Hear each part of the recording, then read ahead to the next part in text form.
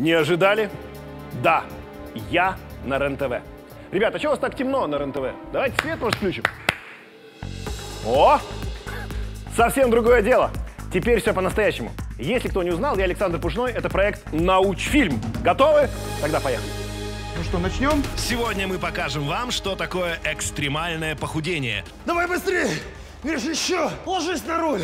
Составим рейтинг самых пахучих в смысле запаха изо рта продуктов. Изучим, насколько взломоустойчивы современные стеклопакеты и выясним, как лучше всего мариновать шашлык.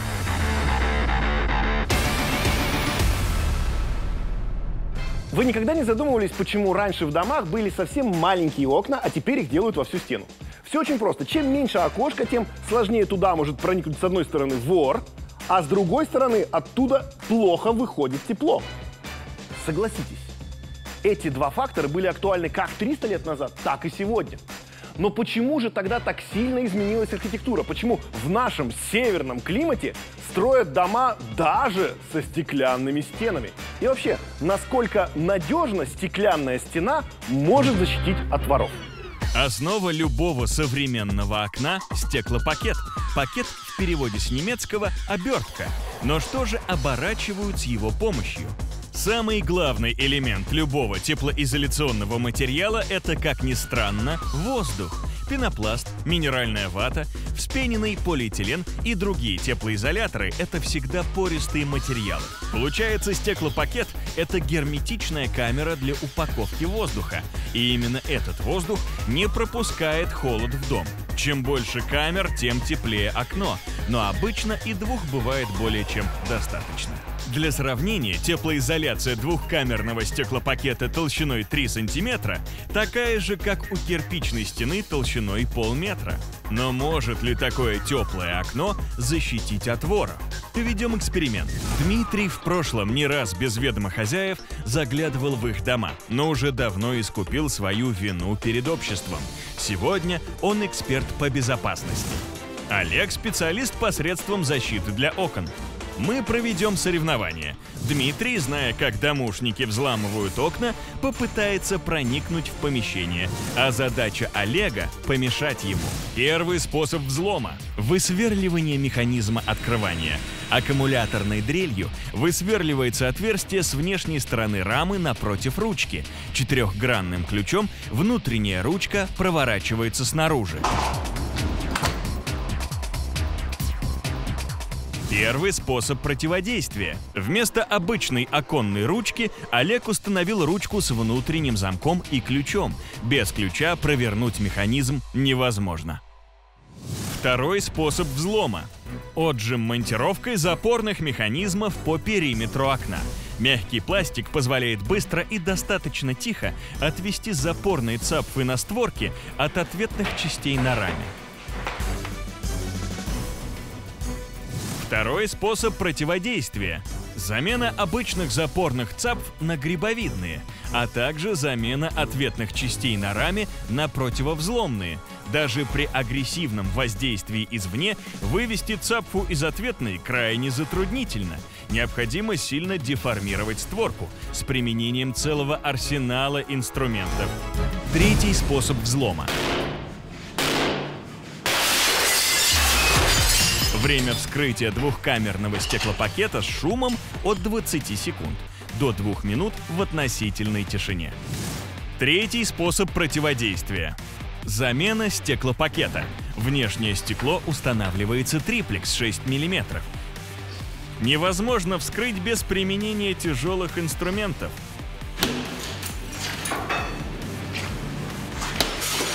Сопровождается очень сильным шумом.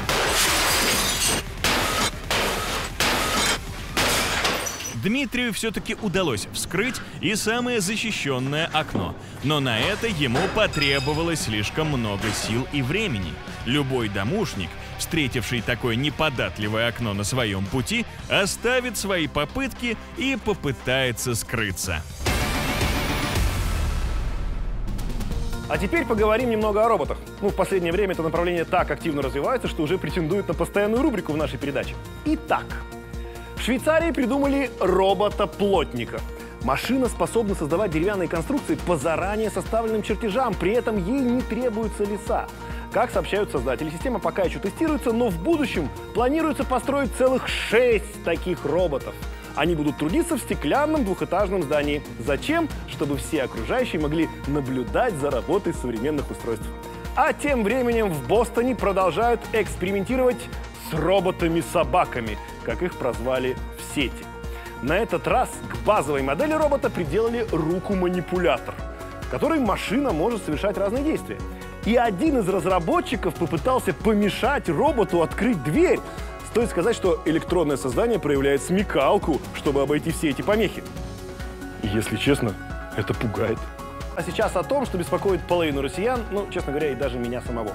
За последние годы в нашей стране увеличилось количество людей с ожирением. По данным эндокринологов, лишний вес есть почти у половины наших сограждан. И, и что с этим делать, спросите вы? Обращаться к специалистам нужно. Собственно, так и поступили наши два добровольца, которые приняли участие в нашем эксперименте. Парни давно хотели привести себя в порядок, но как-то все не получалось. Мы им такую возможность предоставили. И вот что из этого вышло. Это Гриша и Андрей. Парни вместе снимают квартиру и решили поспорить. Кто за пять дней сбросит больше вес, тот не платит в следующем месяце за квартиру. Мы смотрим состав вашего тела. Сколько у вас мышечной массы, жировой массы, сколько у вас жидкости, какая жидкость. Биоэмпедансное исследование позволяет увидеть, сколько в теле человека мышц, жира и воды. На основе этих данных врач-эндокринолог даст рекомендации, как эффективнее бороться с лишним весом. Скорость ваших метаболических процессов, она еще пока в норме, и вы можете сами похудеть. Если мы вас э, будем просто вести по плану «меньше кушай, больше двигайся», мы вас не вылечим. Вот так выглядят результаты исследования наших испытуемых. У обоих вес жира превышает вес мышц. Также есть излишки воды.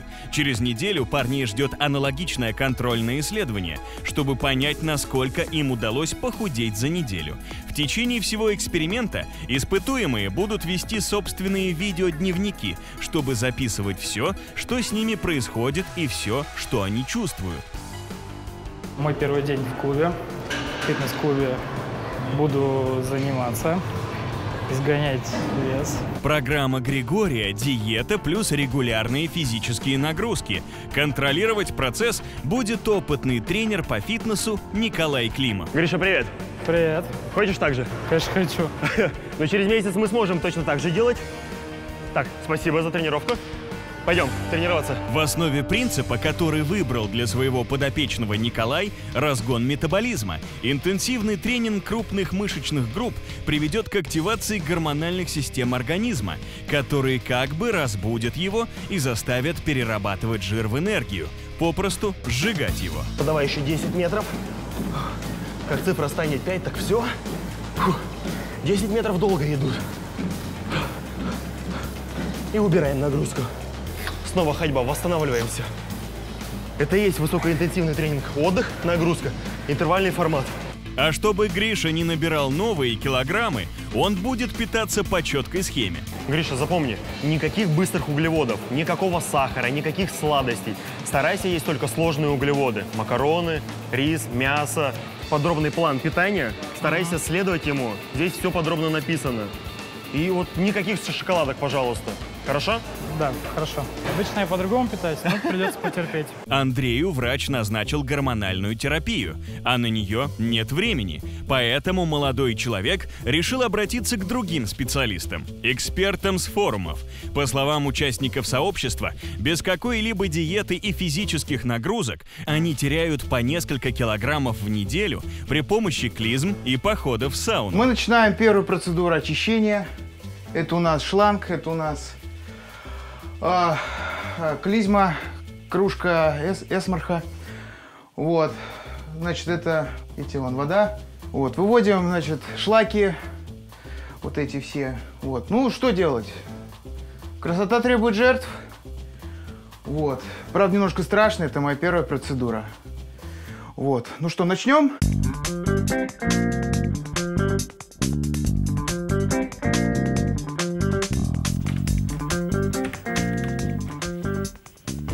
Я вообще-то зубы чистил. А я очищаю организм. В отличие от Андрея, Гриша решил не нарушать предписаний специалистов и четко придерживаться программы. Смотри, сейчас мы немного разогреемся. Твоя цель — попрыгать. Мы попытаемся запрыгнуть наверх, поймать баланс и спрыгнуть.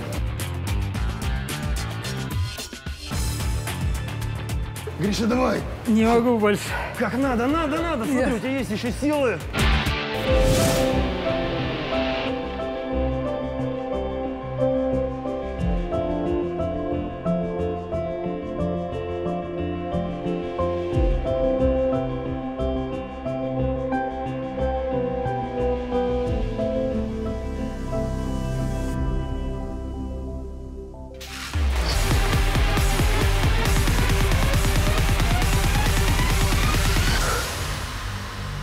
Низкоуглеводная диета – это жесть.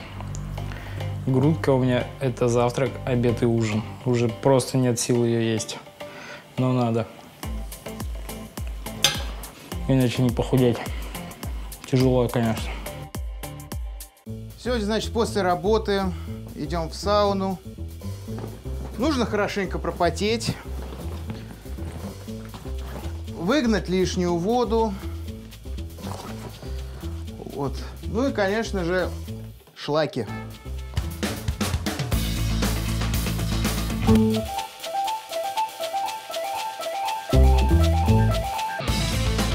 Одна тренировка минус килограмм.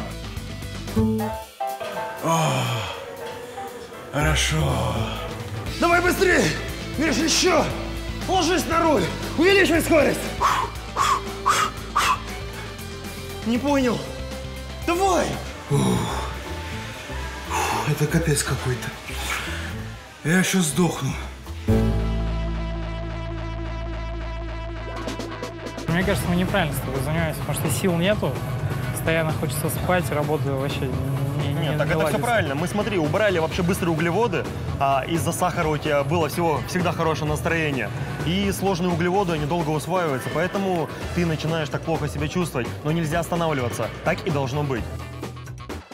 Спустя пять дней наши испытуемые возвращаются в клинику и вновь биоимпедансное обследование. И вот результаты. Клизма и сауна дала больше эффект, чем тренировки и диета. За пять дней Андрею удалось потерять 3,5 килограмма, в то время как Григорий похудел всего на 1 килограмм и 100 граммов.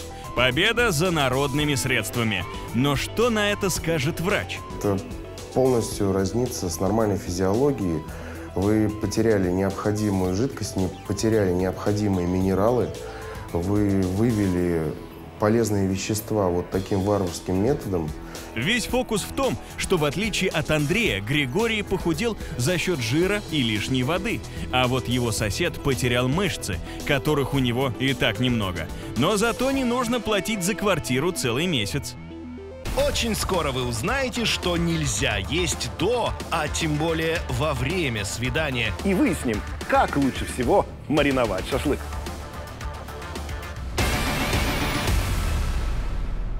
Вот за что я люблю науку, так это за точные данные. Провел исследование, получил эти данные, сравнил с другими, составил рейтинг, причем чего угодно. Так, например, классифицировали перец по жгучести, то есть какой из них самый острый. Ну, по мне, это не самая важная информация. Гораздо интереснее было бы узнать, какой продукт вызывает самый сильный и неприятный запах изо рта. Ну, чтобы точно знать, что в какой ситуации есть. И наша программа эту идею воплотила в жизнь. Свежее дыхание – залог успеха, особенно у девушек. А вот мерзкий запах изо рта превращает вас в глазах собеседника в дьявола, дышащего серой. И на самом деле всему виной сероводород. Этот газ выделяется, когда бактерии ротовой полости разлагают белки. То есть мясо может оказаться зловоннее пресловутого чеснока или нет. Выяснить это нам поможет высокоинтеллектуальный искусственный нос. Он с высокой точностью определяет содержание в воздухе разумных различных газов, в том числе сероводорода. С его помощью экспертам удалось составить рейтинг самых зловонных продуктов питания. Седьмое место. Сладости. Плохая новость для сладкоежек. Сладкое вредно. И дело тут не только в кариесе и ожирении. Сладкое вызывает стремительный рост численности всех бактерий ротовой полости. Поэтому очень скоро сладость на ваших губах превратится в зловонную горечь для вашего собеседника. Шестое место. Соленые снеки. Соленая соломка, крекеры, чипсы, сухарики – все это не только вредно для желудка. Соль забирает воду, и вы ощущаете сухость во рту, а для бактерий это благоприятный момент, чтобы полакомиться оставшимися кусочками пищи без угрозы быть смытыми в желудок. Не хотите, чтобы ваш рот превратился в биотуалет? Тогда активно запивайте снеки. Но главное – не алкоголем. Девушки это вряд ли оценят. А вот если каждый день выпивать необходимое количество простой воды, дыхание в принципе станет более свежим. Пятое место. Кислые продукты. Дурной тон на свидании увлекаться всем кислым и квашеным. Такие продукты меняют кислотно-щелочной баланс во рту, защитные свойства слюны снижаются, а микробы размножаются. А вот у вас до размножения дело может так и не дойти. Кстати, врачи утверждают, что постоянный запах кислой капусты изо рта может быть признаком гастрита или язвы. Четвертое место. Жареная говядина. В процессе жарки неприятный запах говядины полностью исчезает, но это ведь практически стопроцентный белок, а именно на него падки бактерий полости рта. Вдобавок, упругие волокна вечно норовят застрять между зубами и начинают гнить. Не хотите, чтобы от вас пахло как от скотомогильника? Тогда после еды обязательно воспользуйтесь зубочисткой или зубной нитью. Третье место. Сыр с голубой плесенью. Сыры типа Рокфор и Горгонзола всегда считались пищей для гурманов. Многих от одного их запаха просто воротит, ведь сыр с плесенью сам по себе продукт частичного распада белков и жиров. Здесь и сероводород, и аммиак, он же бодрящий нашатырный спирт. В ротовой полости их концентрация только увеличивается, поэтому не стоит подвергать близких людей газовой атаке. Второе место. Соленая и вяленая рыба. Поцелуй с послевкусием рыбьего жира. Вот что ждет любителей соленой и вяленой рыбы. Хотя свежая рыба ничем не пахнет, но в процессе хранения и посола в ней под воздействием природных ферментов образуется вещество диметиламин, имеющее неприятный запах аммиака. Устранить навязчивый запах рыбы поможет кислота, например, лимонная или уксусная. Первое место. Лук и чеснок. Все знают, что запах лука или чеснока не перебить никакой жвачкой. А все потому, что он идет не изо рта, а из желудка. Если чеснок или лук разжевать, то цистеин под действием ферментов превращается во множество едких сернистых соединений. В кишечнике они попадают в кровь и разносятся по всему организму, попадая также в легкие, откуда выделяются с выдыхаемым воздухом. Именно поэтому не помогает чистка зубов или полоскание рта, Запах можно попытаться заглушить, но это вряд ли поможет. Крайности до добра не доводят. Ешьте меньше сладкого, кислого, соленого. Вводите в рацион как можно больше свежих овощей. И будет вам счастье. Ну или хотя бы здоровье. Внимание, песня. Если завтра шашлык, если завтра в поход. Если завтра шашлык, то я его, как обычно, забыл замариновать. Что делать? Вот, пожалуйста, опять же, редакторы предлагают решение – не отчаивайся ускорить процесс марина... ускорить процесс маринования мяс может пылесос. Стоп, кто это написал мне? Вы что, собрались пылесосом шашлык мариновать? Это интересно. Даже меня заинтриговали. Смотрим сюжет. Хотите правильный шашлык? Тогда поехали. Главное правильно порезать мясо. Нарезаем его вдоль волокон, раскладываем и режем против волокон на небольшие кусочки. Если у вас плохое мясо, то поверьте мне, ему уже ничего не поможет. Но и для хорошего мяса нужен правильный маринад. В процессе маринования сок, содержащийся в мясных волокнах, насыщается маринадом естественным диффузионным образом. Чтобы маринад равномерно распределился внутри мяса, может потребоваться до 8 часов. Этот прибор называется вакуумный маринатор. Он способен сократить ожидание до 15 минут. Внутрь бака закладывается мясо, заливается маринад. Изнутри откачивается воздух, и в течение 15 минут содержимое бака постепенно перемешивается. При создании вакуума поры между мясными волокнами раскрываются, и маринад намного быстрее проникает внутрь. Во всяком случае, так утверждают производители данных приборов. Пока поверим им на слово, но только пока. Но если в хозяйстве нет такого вакуумного маринатора и нет времени ждать, пока курьер привезет его, попробуем сделать самостоятельно из подручных средств. Используем стеклянную банку с завинчивающейся крышкой и вакуумный пакет для упаковки одежды. Клапан от пакета вставляем в отверстие в крышке. С помощью пылесоса откачаем воздух из банки. Теперь проверим, насколько эффективным оказался самодельный маринатор. Для чистоты эксперимента мы взяли одинаковое мясо и одинаковый маринад. Одна порция мариновалась 5 часов естественным способом, другая в купленном маринаторе и одна в самодельном. Добавляем еще мясо, которое не мариновалось вообще. Каждый шампур с разным мясом маркируем, чтобы потом не перепутать. Ну что, мясо готово к жарке. Три у нас в маринаде, один без. Маринад обволакивает мясо и принимает на себя большой тепловой удар. Температура должна быть не меньше 250 градусов. Мешать нужно почаще. Дымок пошел, перевернули. Дымок пошел, перевернули. Вот такой должен быть цвет на первой стадии жарки. Запах пошел какой. Осталось буквально минуты 3-4.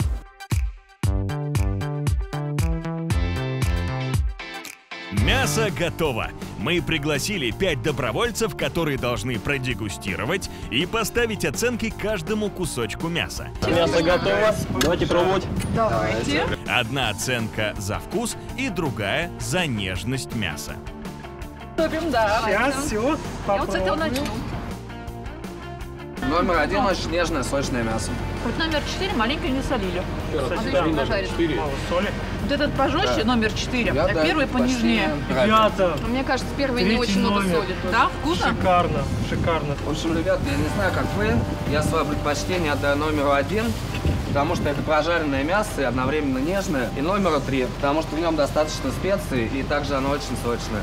Номер два и номер четыре не рекомендую. Знаю, ребят, мне вот, честно скажу, мне очень понравился второй номер. Он сочный, вкусный, прожаристый. Ну, самый лучший шашлык это номер три, потому что это идеальное мясо, идеально сготовлено. Обязательно это первый образец. Все изумительно. И третий. Вот на мой вкус, они где-то вот по консистенции соли, перца и всего вот маринада, они где-то рядом. Итак, по результатам слепой дегустации, мясо, которое не мариновали вовсе, оказалось самым жестким из всех. А вот дальше мнения разделились. Наши участники не смогли однозначно определить, какое мясо мариновалось 5 часов, а какое 15 минут. И уж тем более отличить самодельный вакуумный маринатор от покупного. Из этого делаем вывод. Мясо лучше замариновать. И если на это нет достаточно времени, то нужно немного сноровки и пылесос.